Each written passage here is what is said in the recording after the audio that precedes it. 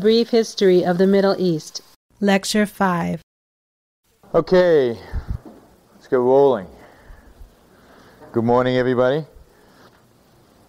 Now, um, just to remind you where we are, we've seen uh, that the Muslim world is um, frustrated and mystified by the success of the West and their own failure. And they tried. After the Ottomans lose the Battle of Vienna, they try for 300 years, they try to figure out what went wrong. What is the problem? They start, as we said last time, by trying to buy effects without looking at causes. And for a long time, they're just trying to buy stuff from the, from the West in an effort to somehow solve this problem, somehow advance themselves. And then when they finally figure out that it's not anything material that they can purchase, and they start sending the young to study in the West, what they get in the West are the ideas of Kant, Hegel, and Nietzsche. And as a consequence, they are very much attracted to the ideas of fascism and nationalism. And uh, what we're going to talk about today is the consequence of that and where that ultimately leads. So if you remember last time, uh, between World War I and World War II, these ideas of, of fascism really take hold within the Arab world. Now, in post World War II, the idea of nationalism is what motivates the Arabs. They view now, they have found the solution. If only we become like the nation states of Europe, we will advance like the Europeans. Uh, Michael Aflaq, the leading theorist of Arab nationalism in the 1940s, thinks that nationalism will solve all the Arabs' problems. He expects Arabs to be able to be observant Muslims and progressive, free and happy in this new structure. Now, remember, they are influenced by Hegel, Nietzsche, by German romanticists. And so their nationalism takes on a certain character. It takes on the character of other countries that, have, that were influenced by Hegel and Nietzsche. It takes on a fascist, Germanic type character. After World War II, nationalism wins the day in the Arab world. In Egypt in 1952, Abdel Nasser in a military coup, takes control over Egypt. In Algeria, Ben Bella fights the French and kicks them out. In Tunisia, in Syria, in Yemen, in Iraq, and in Libya, young military officers, in the name of nationalism, get rid of the colonial powers and establish their own states. In Syria and Iraq, the Ba'ath Party, which still rules those countries to this day, Arabic, Ba'ath is Arabic for resurrection, is explicitly inspired by Mussolini and Hitler. And indeed, if you read the manifesto to the Ba'ath Party, it looks like the fascist manifesto. In Syria and Iraq, they take over in the mid 50s. According to the new military leader in Syria, he says, Give me five years and I will make Syria as prosperous and enlightened as Switzerland. Note that they have no concept of what Switzerland really is, that they have no concept of what really is going on in the West. And this is, this, is, this is crucial to understanding kind of the state of the Arab world today. It's this fact that they have no idea of what has caused the West to be prosperous and they are struggling. They're kind of grabbing at anything that they can, but they never actually sit back and, if you know, inspired by uh, Dr. Peikoff's course, they never sit back and induce, you know, and look at all these cases where, uh, you know, prosperity has actually been achieved and come to the conclusion of what is it that's actually inspired this prosperity. Now, colonialism comes to an end symbolically and in fact, really with the Suez Canal crisis of 1956. In 1956, up until 1956, the British and French control or own the Suez Canal. They built it and they own it. They get to generate the revenues. It's British and, and French companies.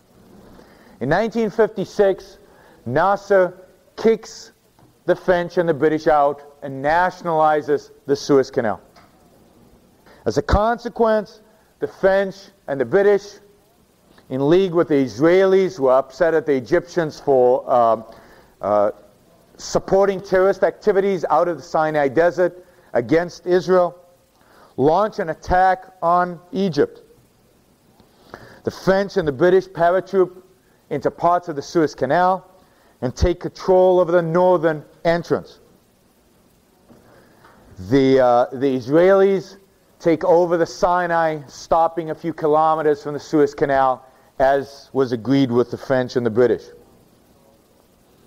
Of course, the Eisenhower administration is really upset and within days puts immense pressure on the French and the British, forcing them, I think within a few weeks, to retreat. Ultimately, the Israelis retreat again, of course, only to have to take over the Sinai again in 1967. Now, the only last, kind of the last fight of uh, between these nationalists and colonialism happens in Algiers. And when the Algerians, uh, in the late 1950s, and when the Algerians ultimately gain independence, one million Frenchmen are forced to go back to France. There's one million people who had settled in France and might have been second generation or third generation Frenchmen are kicked out and forced back to France. Now, during the 1950s, this notion of nationalism is, of course, combined under the Arabs with socialism. And the idea here is these Arab countries are enamored with the Soviet Union. Indeed, as late as 1964, a noted French sociologist wrote, quote, almost everyone professes adherence to socialism in the Middle East. Liberalism, to him, liberalism and socialism are the same thing. Liberalism is deeply rooted in the urban life of the Arab East. End quote. But of course, to the Arabs, socialism is national socialism. It isn't the liberal type of socialism that the Europeans are familiar with. National socialism, i.e., Nazism. The rulers of the Arab world are some of the most oppressive, despotic rulers in the world. They inflict great harm on their own populations. There is no freedom of speech, no freedom of the press, no concept of private property. Nationalism for the Arabs was just a new term that served to legitimize a new form of one man rule, a new form of despotic rule. And actually, these nationalists were a lot worse than the Ottomans ever were, than the colonizing powers ever were, than the caliphs ever were. In 1982, Assad of Syria directed his artillery on his own people in the town of Hama in northern Syria.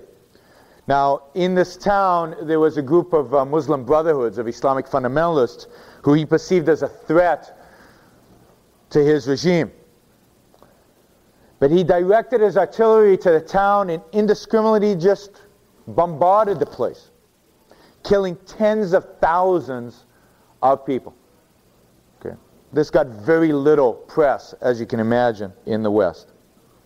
Now, we all know, because it's got more press in the West, what Saddam Hussein has done to his people, including using chemical weapons against his own citizens and just massacring them in mass.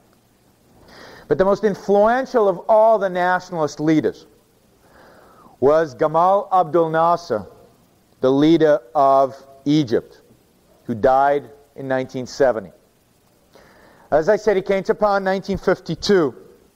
He came to power as a leader of a coalition. And part of this coalition included both liberal elements and Islamist elements, Islamic fundamentalists. As soon as he came to power, he got rid of both. He cracked down on the Muslim Brotherhood, he cracked down on the liberals who had helped and supported him and established himself as the ruler of Egypt. Now he was very a very inspirational speaker. And he projected or he, uh, he spoke of a pan-Arabic solution to Arab um, frustration. His notion was not nationalism on the local basis, but, but an Arab nationalism, a unity of Egypt and Jordan and Syria and Iraq. And indeed, a number of deals were cut. At some point, there was a deal between Egypt and Syria to unite and form an Arab federation. It lasted two or three years. Uh, at some, they tried to bring in Iraq to the same uh, deal. But he had this very inspirational message to the Arabs. He was going to bring the Arab world into the 20th century. He was going to modernize. He built the Aswan Dam in an attempt to bring modernization to Egypt. He modernized the Egyptian military. But at the same time, he was extraordinarily oppressive. Nasser destroyed Cairo, which was before his reign the intellectual capital of the Arabs. Indeed, Beirut takes its place with the rise of Nasser because the intellectuals flee Cairo and go to Beirut. Yet, at the same time, and this is the contradiction, he is the darling of most intellectuals. So the intellectuals sit in Beirut and say, oh, if only Nasser can do what he says he will do, if only he can unite the Arabs, if only he can, you know, this romantic dream of one Arab nation that will march into the 20th century. He snubs the West and allies with the Soviet Union, which of course made him a hero among leftists both in the Arab world and in Europe. He makes the West out as the enemy. I'm in Glendale and found love in the South Bay. Yes, I find myself in an LA long distance thing. Guess who helped make it work? AT&T. I bought one phone, got another one on them, and romance is alive on the 101. Come into an AT&T store, buy a smartphone, and get one on us. More for your thing. That's our thing. Limited time in areas. Select devices. Each requires up to $900 on installment agreement. Requires one new line and minimum $75 per month service. Free after credits over 30 months starting within three bills. If cancel service, device balance is due. $30 activation, additional fees, taxes, and restrictions apply. See your local AT&T store for details. Looking for quality auto parts for your vehicle? Shop one of the 133 Los Angeles area O'Reilly Auto Parts stores. You'll find we have convenient locations, thousands of brand name parts in stock, extended store hours, everyday low prices, and well trained professional parts people. O'Reilly Auto Parts. Better parts, better prices every day. Oh, oh, oh, O'Reilly Auto Parts. We've talked about the Suez Canal. After the Suez Canal, he becomes even more of a hero because he stood up to the West. He fought the British and French, and he got away with it. He won. The Suez Canal is now his. To a large extent, the nationalization of the Suez Canal served as inspiration for the rest of the Arab world to start nationalizing the oil fields. So after 1956, he becomes the undisputed leader of the Arab world.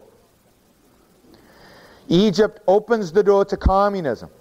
By 1965, about 100 Soviet professors are teaching in Cairo, and Soviet newspapers are being circulated in Arabic in Egypt. Egypt, Syria, and Iraq receive more than half the entire global military assistance provided by the Soviets. Yet, Nasser, which is no surprise to this audience, his combination of nationalism and socialism destroys whatever economy Egypt still has. He nationalizes almost everything in sight, That's completely destroying the economy. But he is still loved. It is amazing the support that he received in the Arab world in spite of his obvious failures. Now, nationalism as a dream, nationalism as a, uh, as a solution, Nasser as the uh, deliverer of the Arab people, all of that crashes to an end in 1967 with the Six Day War. In early 1967, Nasser marches his troops into the Sinai Peninsula. You can see the Sinai Peninsula here in green between Israel and, um, and Egypt. He uh, kicks out the UN monitors who are there after 1956 to ensure uh, that no terrorist activity will occur against Israel and to separate the troops of the Israelis and uh, the, uh, the Egyptians. The Syrians amassed troops along the Golan Heights overlooking Israel. And uh, it is clear that the Syrians and the Egyptians are coordinating an attack. Uh, this troop amassing continues into the late spring. And in June of 1967, the Israelis launch a preemptive attack. They destroy both the Syrian and Egyptian air forces on the ground. And in six days, in six days, in one of the most stunning, at least to the world, military victories, they completely annihilate the Egyptian, Syrian, and Jordanian armies, taking over the Sinai, the Golan Heights, and the West Bank. The Arabs are losers. They are losers again. Despite nationalism, despite independence, despite Nasser, they have lost and they have lost big. To the Arab world, the Six Day War is almost as bad as the Battle of Vienna was to the Ottoman Empire. It was the war that shattered all illusions. It was the war that made it clear that there was no hope, that they had not found a solution. And in this war, they could not blame the Europeans. After all, they were independent now. They were receiving massive support from the Soviet Union. They had the latest weapons that the Soviet Union could produce. Israel, by the way, up until 1967, had no American weapons. All the weapons Israel used in 1967 were French and British because the Americans, up till 67, refused to sell arms to Israel. Uh, its entire arms supply was from Europe. So the Arabs now could not blame the Europeans anymore. You know, they faced uh, a new situation which required either new introspection, stepping back and saying, why is Israel, this tiny little country with no natural resources, why is it so successful? Why is this country with less than a tenth? Uh, Israel at the time had a population of about 3 million. The Arab world was about 150 million. Why was this tiny fraction, how could it defeat us so completely? How come its economy is so much better than ours? They could have done that introspection. But instead, they lashed out. Instead, they reverted to their old methods. If Israel was winning, it couldn't be because there was a deficiency in the Arab world. It had to be because there was some conspiracy against it. The enemy, the cause of their oppression, the cause of their frustration, was an Israeli and more likely American conspiracy against the Arab world. An Egyptian diplomat in 1985 basically blames all the Arabs' problems on the Arab-Israeli conflict. He writes, and I quote, the Arab-Israeli conflict has been the most important single factor in the shaping of history in the Middle East during the past four decades. Had it not been for that conflict, we would have been able to see in that area much more stable order, the orientation of which would have been liberal and rational. End quote. So the reason the Arab world is full of despotism and poverty is because Israel exists and there is an Israeli-Arab conflict. No wars would exist in the Middle East if not for the Israeli-Palestinian, Israeli-Arab conflict. Now, of course, this ignores just several small facts. Like the fact that Morocco and Algeria have been fighting directly and indirectly since they gained independence. That Libya has raided across Egyptian and Tunisian borders, as well as interfered militarily in the Sudan. So these are wars far from Israel that have nothing to do with the existence of Israel. Syria has twice invaded Lebanon.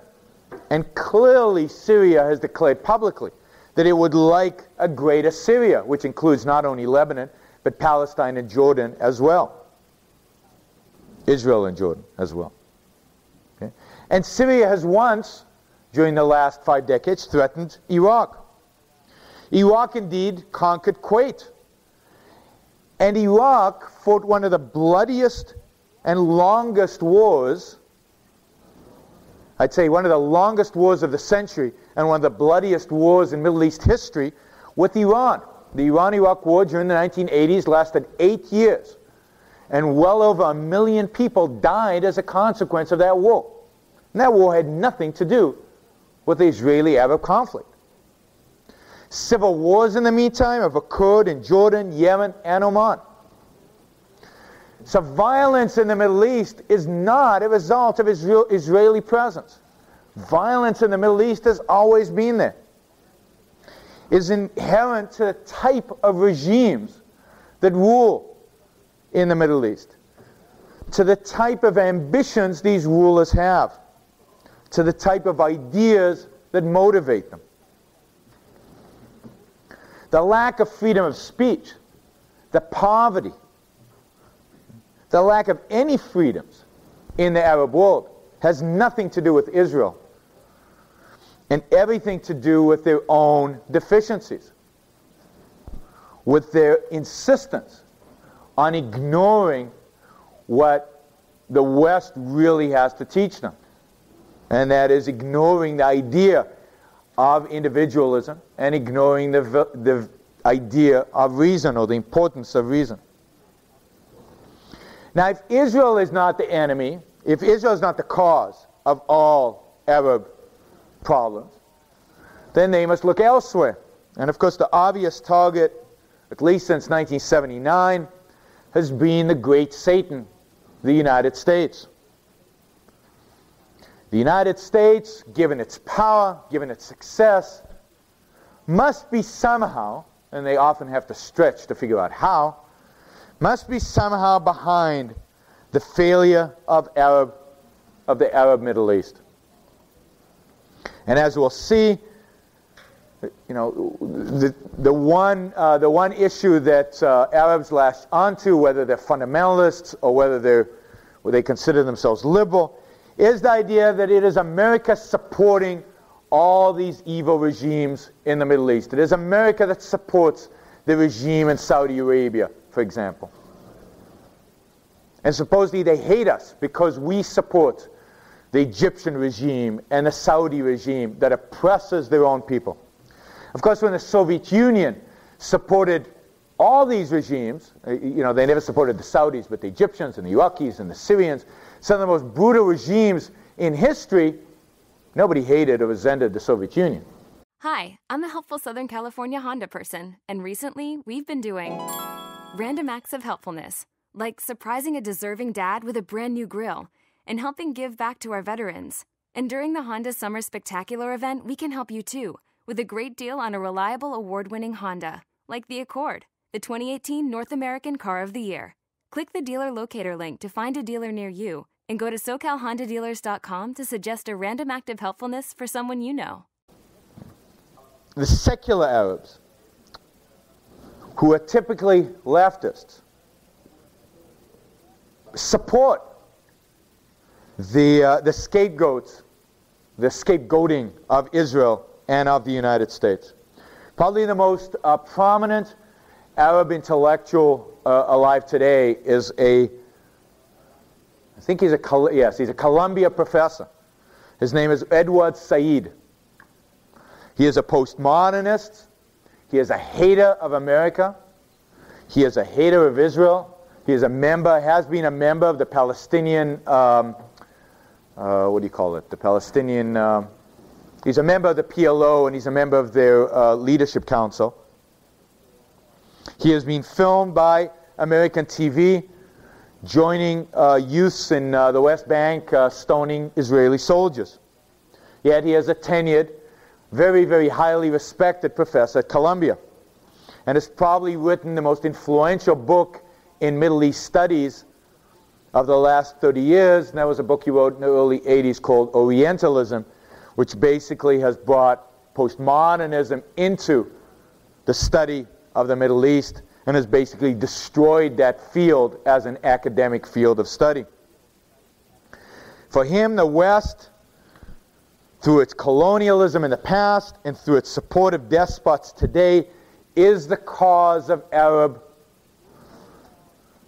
poverty, of Arab oppression. The West is imperialistic because imperialism doesn't mean anymore just what? Just military force. It means projecting your ideas, trying to export your ideas, trying to export your culture. And of course, this culture is horribly dangerous for the Arabs from a postmodernist perspective. Uh, Edward Said claims that no European can speak or write about the Middle East because no European can understand the Middle East. To understand the Middle East, one must be from the Middle East. That is, it, this, it's this complete ethnic perspective on history and on the social sciences. To write about blacks, you have to be black.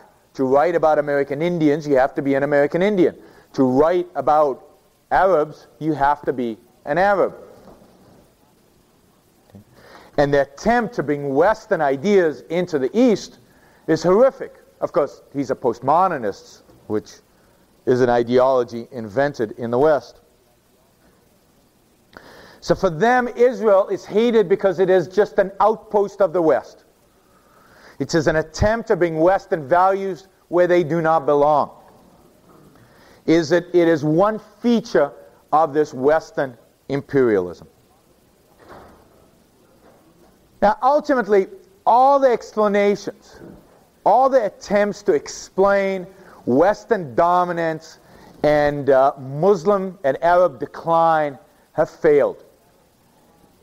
There is a vacuum in explanations. They've tried it all, and, and, and today, you know, probably uh, the, the, most popular, the most popular explanations are conspiracy theories, which are all over the Middle East. I mean, the uh, Egyptian television ran a 12-part miniseries on the protocols of the elders of Zion. I don't know if you know what those are, but those are the protocols that the Nazis brought out.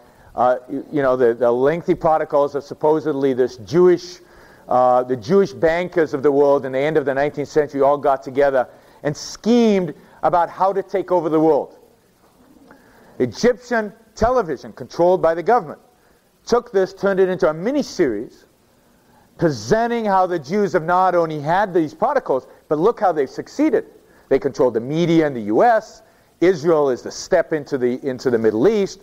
They really control America completely because look how America supports Israel. They control banking in the, Europe, you know. So uh, that's, a, that's the best that they can offer these days. Except for one group, because we know when there's a void, when there's an intellectual void, when there's a void in explanation, somebody will step into that void. And that somebody has been Islamic fundamentalism. And we're going to spend the rest of today uh, talking about Islamic fundamentalism.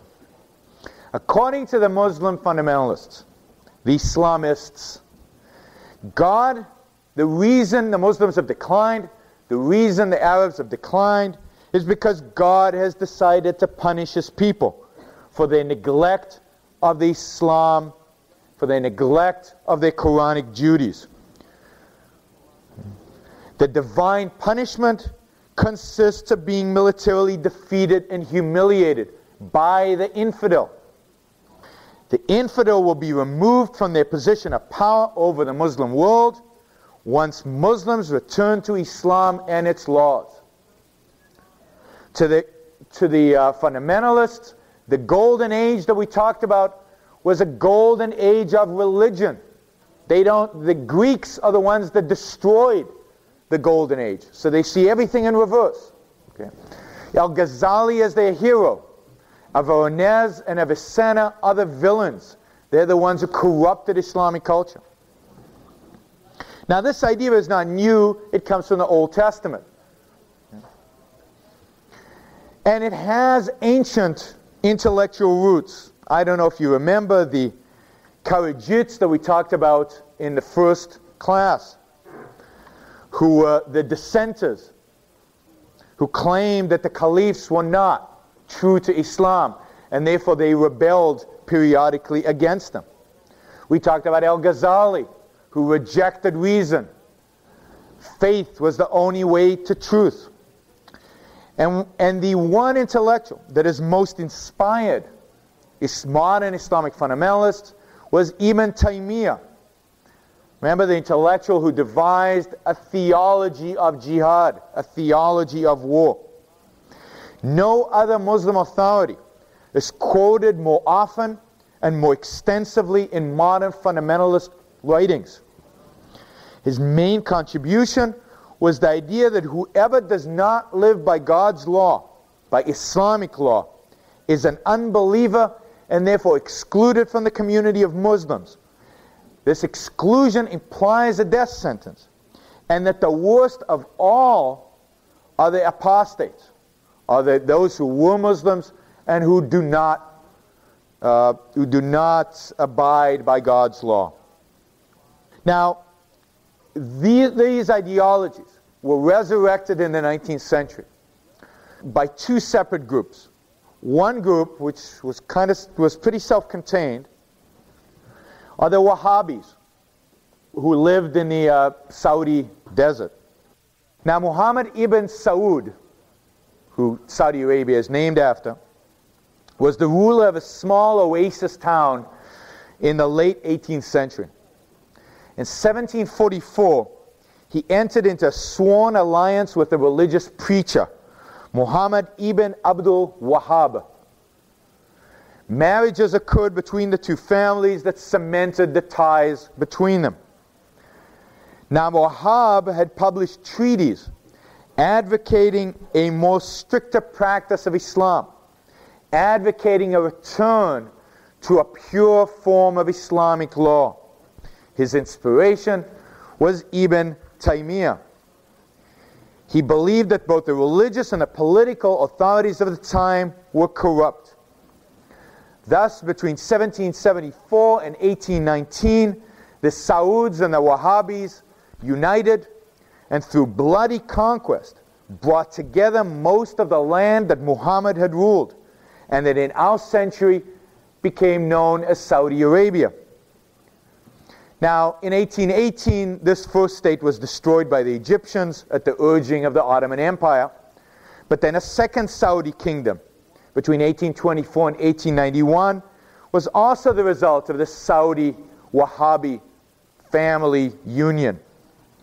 It ended in civil war and the exile of a king.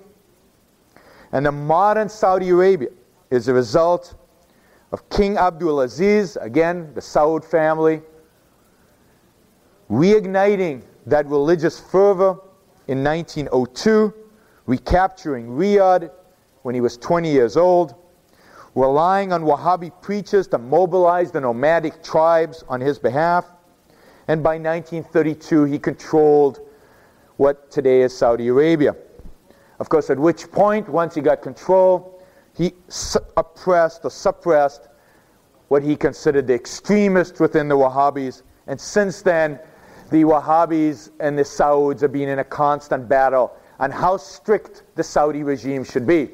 And while we consider the Saudis incredible fundamentalists, the fundamentalists consider the Wahhabis way the uh, Saudis way too liberal. And indeed, Bin Laden's, one of Bin Laden's uh, goals is to get rid of the Saud family and to retake Saudi Arabia and reinstall what he believes is Islamic law. Uh, not this watered down version where they only beat people up in public, you know, every other week.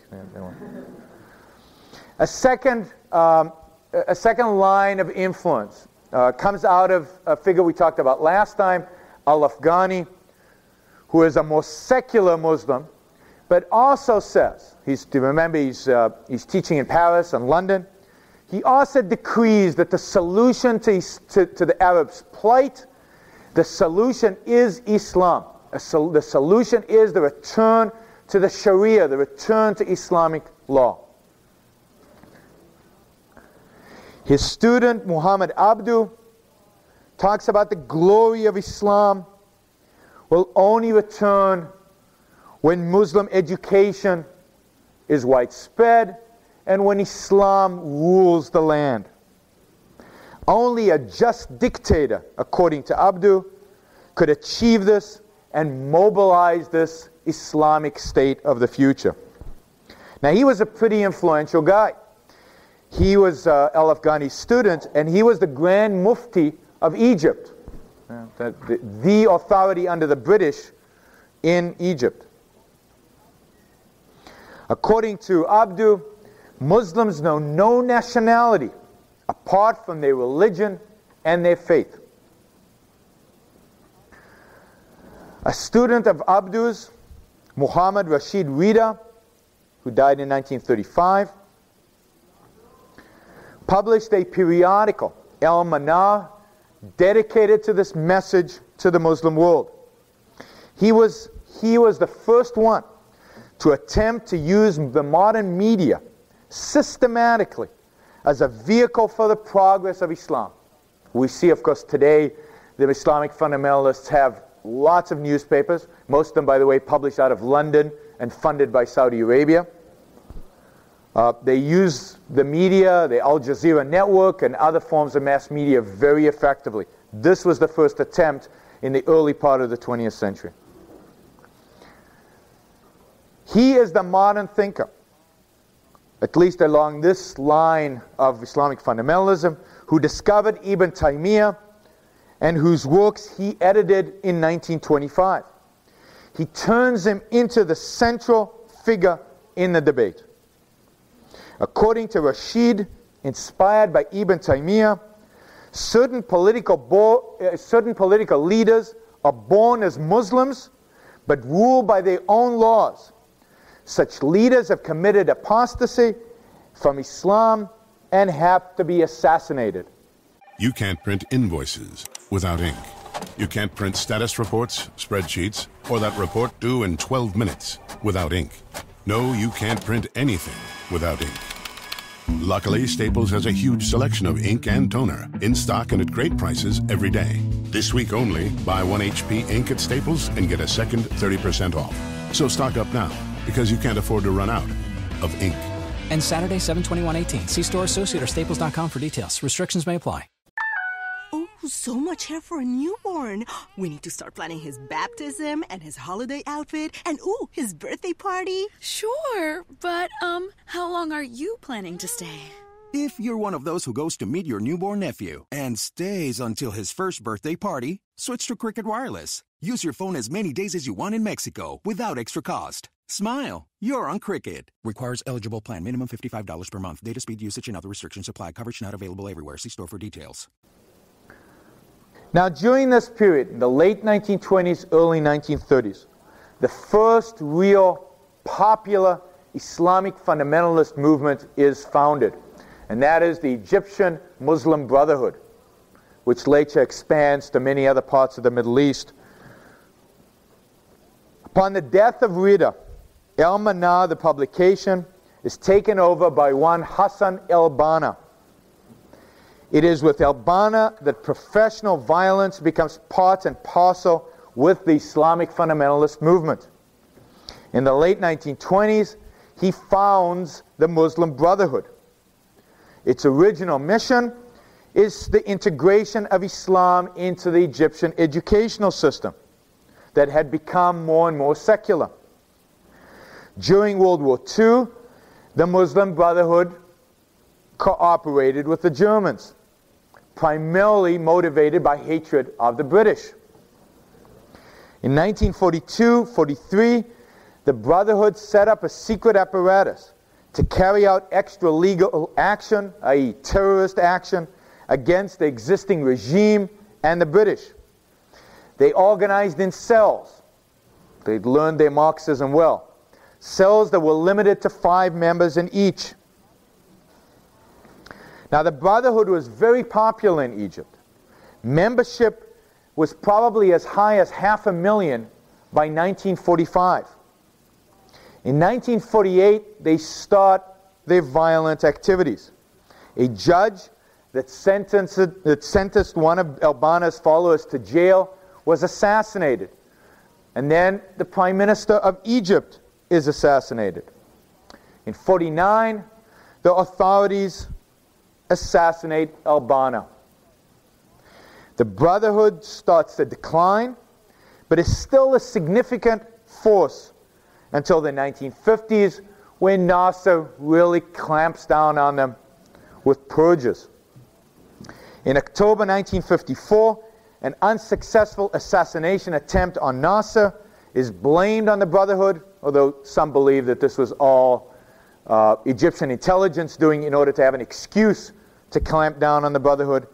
And six leaders of the Brotherhood are assassinated, and hundreds are jailed and persecuted.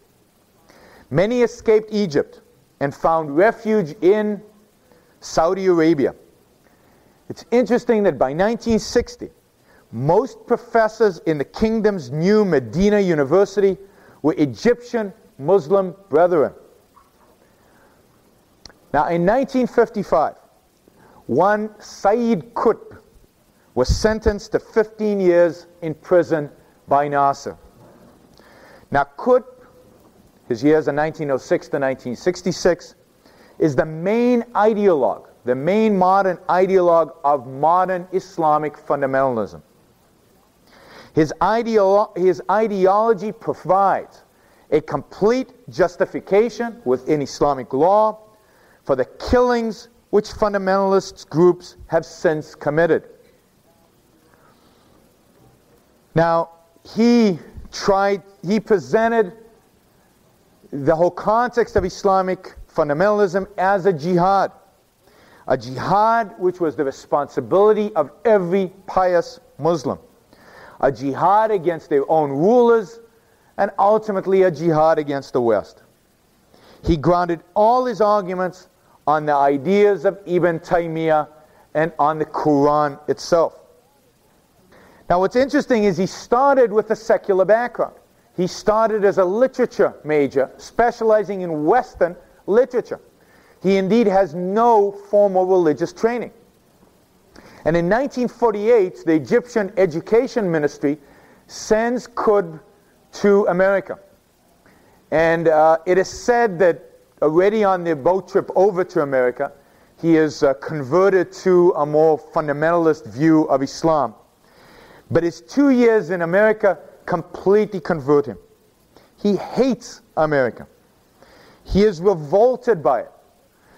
The permissiveness, the promiscuity, his perception, the fact that women are treated equally. The fact, he, he writes, that he was shocked because he went to churches in which there was singing and dancing. He talked about how Christianity had been corrupted by Western civilization, how it becomes it becomes secular. And as a consequence, he became a real hater of the West. He wrote a book about the struggle between Islam and capitalism, how they were completely inconsi- inconsistent, and how a, a struggle between the two was inevitable. Now, during Nasser's revolt, the Free Officers' Revolution in 1952, after he returned from America, he supported Nasser and was actually a part of the inner circle of the group that put on the coup. However, once he realized Nasser's secular intentions, or once Nasser realized that he had power and didn't need the Muslim Brotherhood, Qutb was out. In 1954, he became the editor of the Brotherhood newsletter. And in 55, he was captured as part of Nasser's purge and was sentenced to 15 years in jail, where he did most of his writing. He was released in 1964, but in 1965 was arrested again. This time he was tried for treason. He was sentenced to death on August 21st, 1966, and was executed eight days later. The Egyptians were in a hurry to get rid of this guy. Now, he spent his years in jail writing. His most influential books, book, Landmarks, was published in 1964. In the book, he accuses Muslim societies of not being Islamic, but being pagan, thus opening up the possibility of civil war. It implies the apostasy from Islam, not just of the leaders, but of the society in general. He writes commentaries on the Quran in 30 volumes. Now, this book is probably the most widely distributed and translated Islamic book of all time after the Quran. Qutb is the most well, it, it, more people read Qutb's books in the Middle East than any other author. Now, in all his writings, he emphasizes the return, the importance of the return to the Sharia, the return to Islamic law. He condemns the West and the Arabs' attempts to copy it. He condemns individualism and capitalism.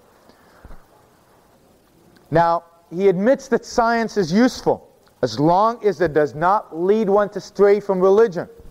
He advises, for example, avoiding biology and astrophysics because you might discover something there that might lead to a conclusion the Quran is wrong. He completely rejects modernity. He wants science, but he views, like many Islamic fundamentalists, science as having originated with Islam in the Golden Age, with no link. They see, of course, no link between that science and Greece. They see the link between that science and the Quran, which is a, which is a leap of cause and effect.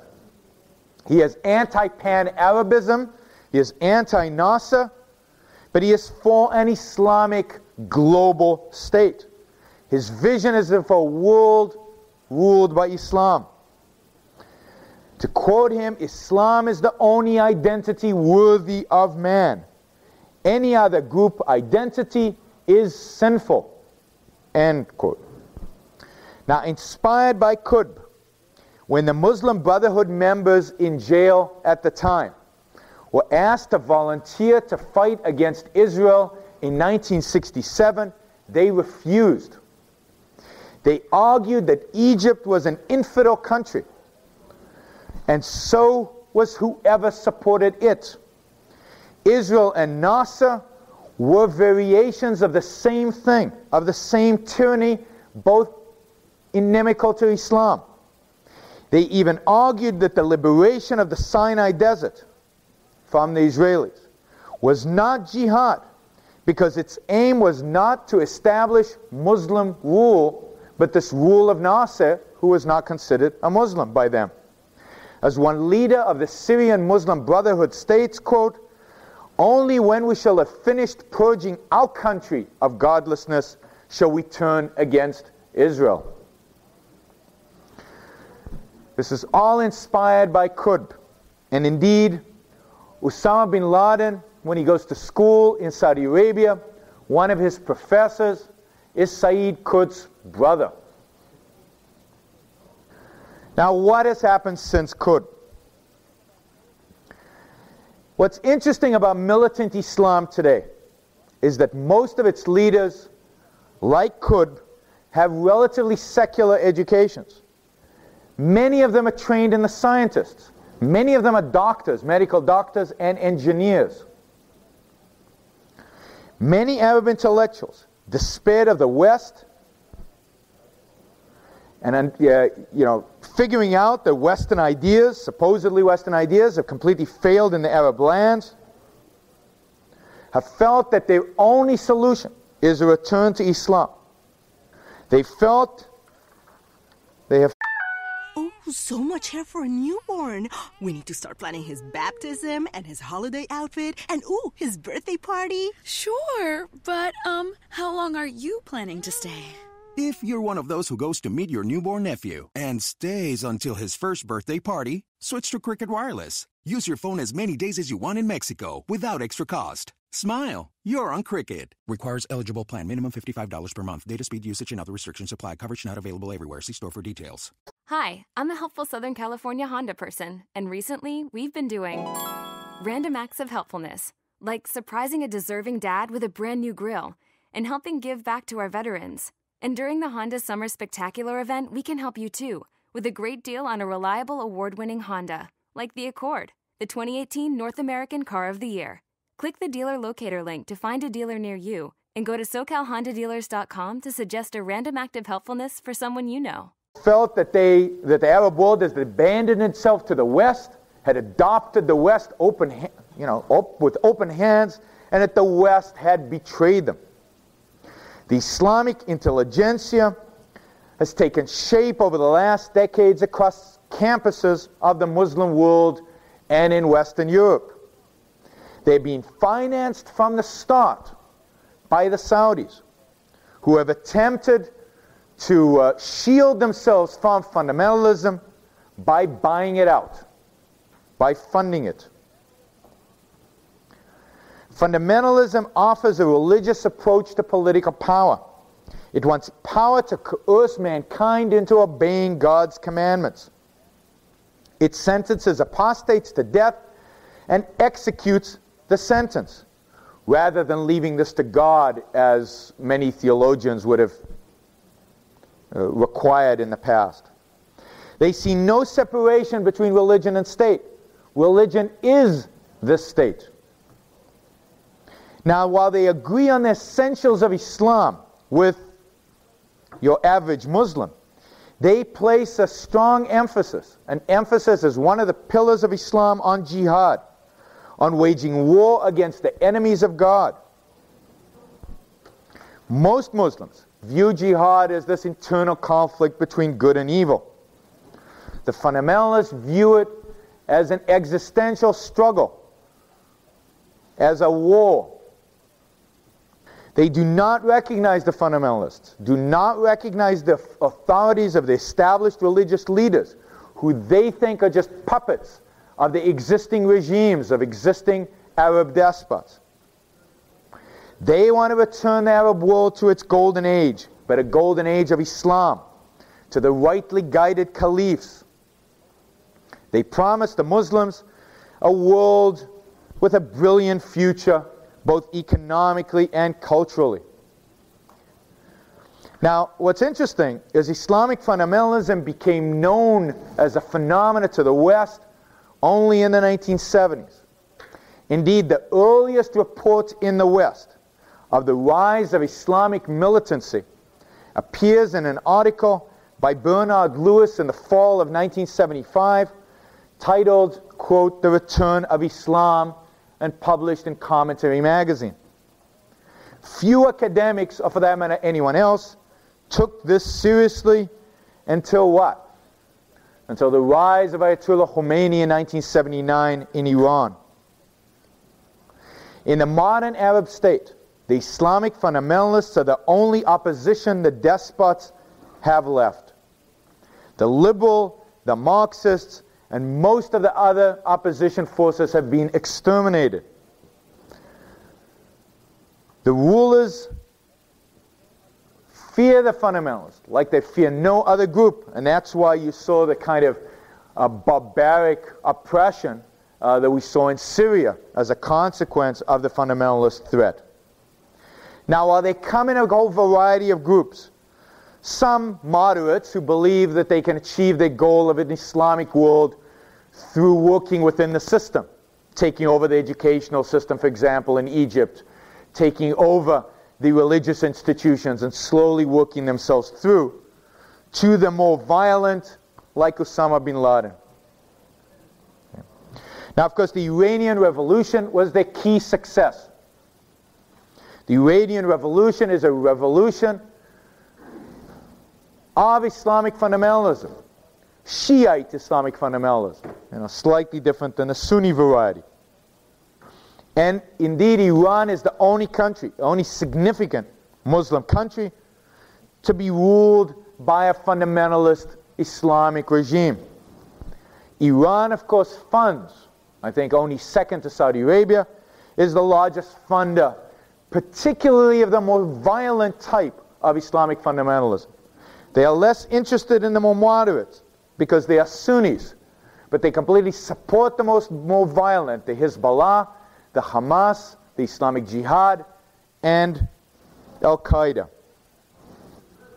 Afghanistan served as a rallying call after the Iranian Revolution for these Islamic militants. It was an opportunity for them to take arms and practice a jihad. Their success in kicking out the Soviets out of Afghanistan has provided them with a great sense of self esteem, of power, of success, of their ability to bring down a superpower. Uh, most of these, uh, most of the uh, jihadists who went to Saudi, who went to Afghanistan were from Saudi Arabia and other Arab countries like Egypt, Jordan, and Syria. And as we all know, they succeeded in 1989 by kicking the Soviets out, and then succeeded, if you will, on a small scale by having the Taliban, another Islamic fundamentalist regime, rule Afghanistan. The only other success was in the Sudan, where an Islamic fundamentalist regime came to power. In Egypt, probably the place, you know, the, the real prize, the country that they would most like to take control of, it is Islamic fundamentalists who were responsible for the assassination of Anwar Sadat in 1982. Let me add that Sadat was not murdered because he signed a peace treaty with Israel. He was murdered because he was viewed as a Westerner, as an apostate. He was viewed because he was modernizing Egypt. He was murdered because he was modernizing Egypt. The ideological leader of the group that assassinated Sadat wrote, quote, It is true that the liberation of the Holy Land is, le- is legal precept, binding upon every Muslim.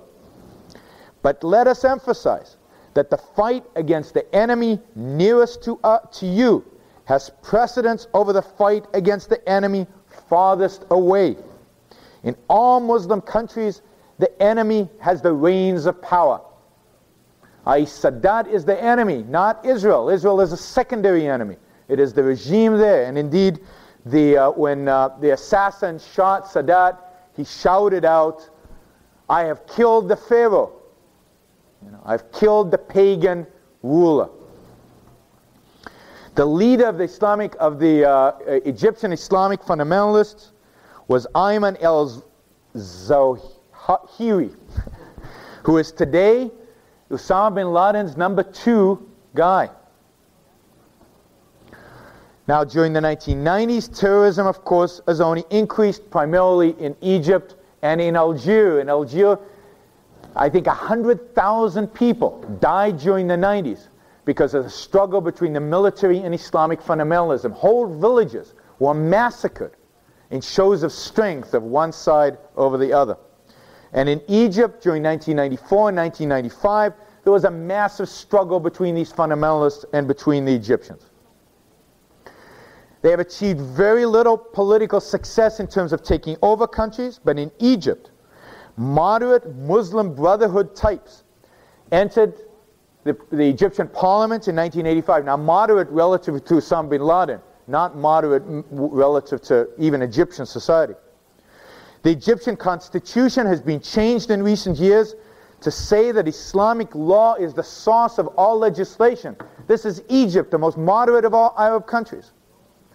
And they have gained significant power within educational institutions in, in Egypt and are slowly taking over all of Egyptian education and religious institutions. So, Egypt, the most powerful, the most secular of the Arab nations, is now beginning an era of domination by these Islamic fundamentalists, at least until the current regime feels powerful enough to crack down on them, uh, which at the rate their popularity is growing is not, is not going to happen anytime soon. Now, there's a lot more to say about Islamic fundamentalism. Uh, let me just add that Islamic fundamentalism, uh, to a large extent, would not have been possible. Uh, the extreme to which it is popular and to the extreme to which it has been successful would not have been possible without the West's own support. It is, after all, we who funded the jihad in Afghanistan and trained them. Indeed, it is the Israelis who, for many years, funded Islamic, the Muslim Brotherhood within the West Bank and uh, the Gaza Strip as, an, as a, an alternative to Yasser Arafat. And of course, that Muslim Brotherhood has turned into the Hamas organization. It is the Israelis that set them up as a dominant force within. It is Israeli pragmatism, just as it was American pragmatism, that set up bin Laden. So it appears that the Arabs today are faced with only three alternatives the existing despotism, the Marxism and nihilism of modern Western inspired intellectuals like Edward Said, and the third alternative is Islamic fundamentalism. But there is a fourth option. That, that option is represented by the West, and the U.S. in particular. Millions of Muslims live in the West escaping the horrific conditions at home. Many students study in the West, hopefully, many of them not in the liberal arts departments. But most significantly, the West exists, it functions, it succeeds, and that is an inspiration to some in the Middle East. The, this fourth option, this existence of the West, the success of the West, the existence of the West as an option, and the attractiveness of this option to Arabs in the Middle East today is why I believe bin Laden has chosen to attack us. For him to succeed, for Islamic fundamentalism to succeed, it must knock us down. It must show that this alternative, this Western alternative, is nothing but a facade, is just a myth that can be blown up, that can be shredded. He must show the Arab world that we are not to be emulated because there is nothing there to emulate. Only then will he turn back to ridding himself of the Arab rulers of Egypt, of Syria, of Jordan, of Saudi Arabia. Okay? So this is a change in tactics.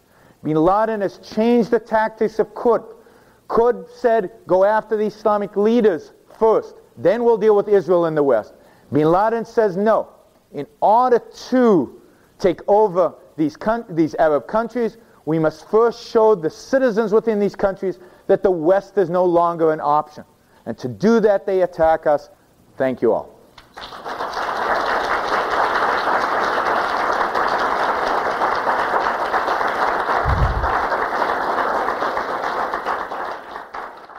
All material in this program is protected by copyright and may not be reproduced in any form or manner, nor played before a live audience without the express written permission of the producer, the Ayn Rand Institute.